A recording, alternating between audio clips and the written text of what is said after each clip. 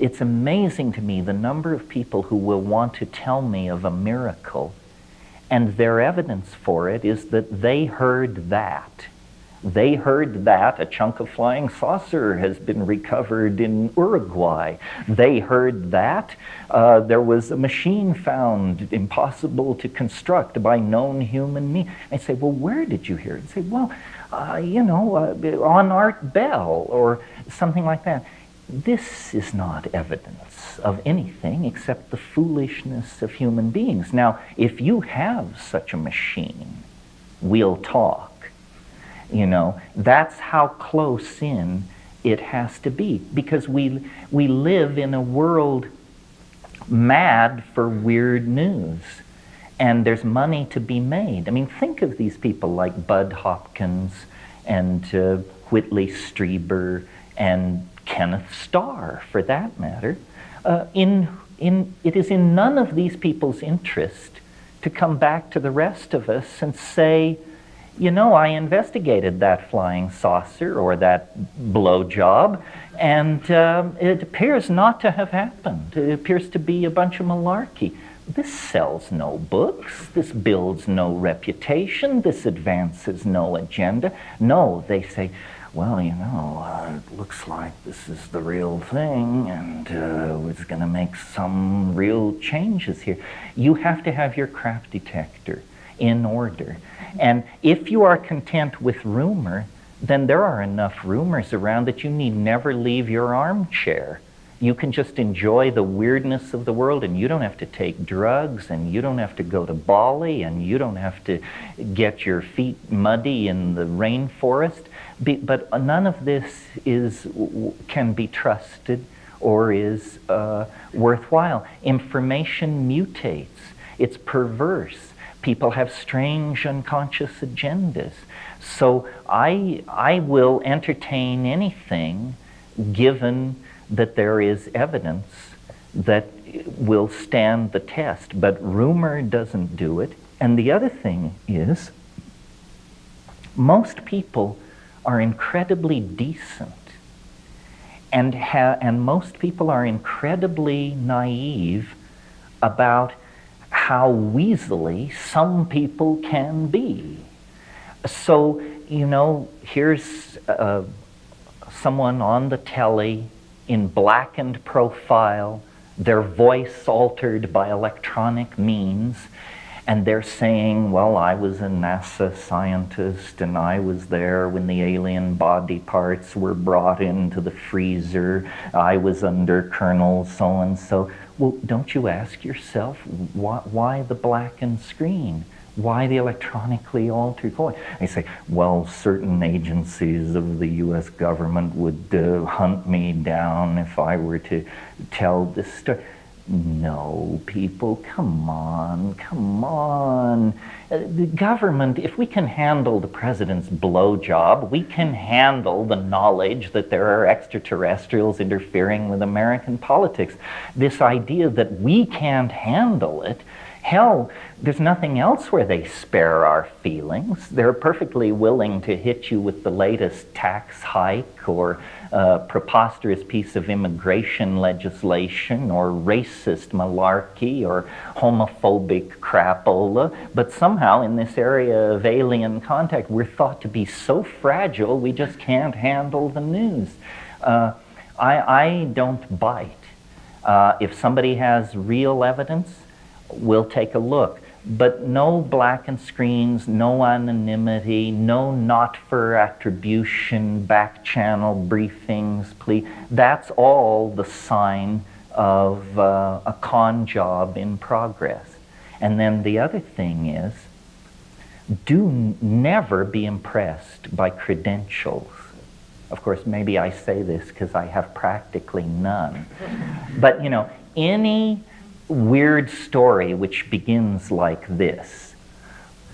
Former NASA scientist Harold Schmigley uh, said in Santa Fe today, when I hear the phrase former NASA scientist, I reach for my revolver. if somebody leads with their credentials, they're conning you. If somebody says human being, David Schmigley reports so and so, then I say, well, that's interesting. What does David have to say? But if they immediately try to snow you, like NASA scientists are supposed to know something about this or have a better grip on reality than the rest of us, get real. You can't be serious. Uh, you know, any, any stage magician will tell you scientists are the grist for the mill, the easiest folks to lead around by the nose there are. That's why, well, no, I don't want to name names or get into uh, bashing of particular careers. I've skirted close enough to that already. My point being, the truth can defend itself. And if you really want to believe in the Hall of Records beneath the Sphinx, or the crop circles, or the Area 51 that our government is trading fetal tissue for high technology, well, then hustle your buns down there and uh, drink in the bars and buy people drinks and, uh, and, and hear what's really going on. Because at the distances we all are from these phenomena, our instruments that inform us are incredibly uh, perverse and designed to mislead, befuddle, and bamboozle us. And, and that's one of the things I love about the psychedelic experience is I've, I sound like one of these mad people. You know, the things I say about DMT are these dead souls, is this extraterrestrial intervention. But I have uh, a method.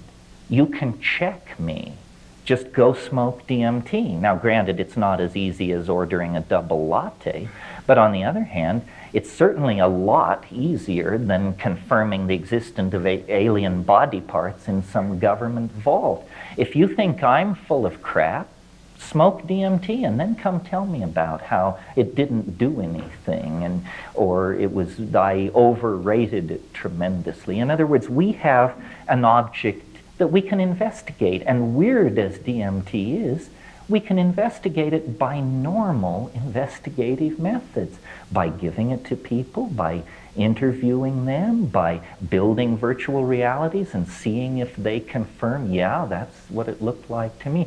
In other words, strangeness is not in principle beyond investigation, but the method by which it should be investigated is no different than the methods we bring to bear on any other thing uh, which puzzles us.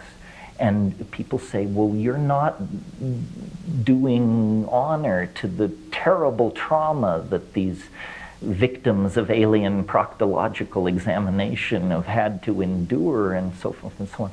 Well, listen, if you, if you witness a murder, you have to testify you, you, have to, you have to tell your story in front of hostile attorneys, in front of a jury, in front of a judge. You don't get to say, oh, it was so horrible, I, I just can't, I can't give testimony. Uh, no, we will compel your testimony if necessary. So the idea that people who bring extraordinary news to our campfire should not be grilled by extraordinary means seems to me uh, mush headed, and that you will then end up with unconfirmed rumors, hysterias, so forth and so on. And then the other thing is there's money to be made from these things. Uh, you know, write a book claiming any damn thing, and you can get a following these days. It is not possible to think up a cosmology so absurd that you can't get at least 500 people to sell their houses and proclaim you the avatar and uh, join up. It really isn't. And so it's really a problem for those of us who really want to know the real stuff, the genuine article. And, the, and again, it, it's giving weird a bad name uh, because there is real weird. There are real things, DMT, weirder than crop circles, weirder than alien intervention, weirder than Atlantis, weirder than the Hall of Records under the Sphinx, weirder than all of these fairy tales are truly real things. But you got to go out there and kick the tire and hoot the horn, and you can't rely on on anybody, you know. You have to experience it uh, directly.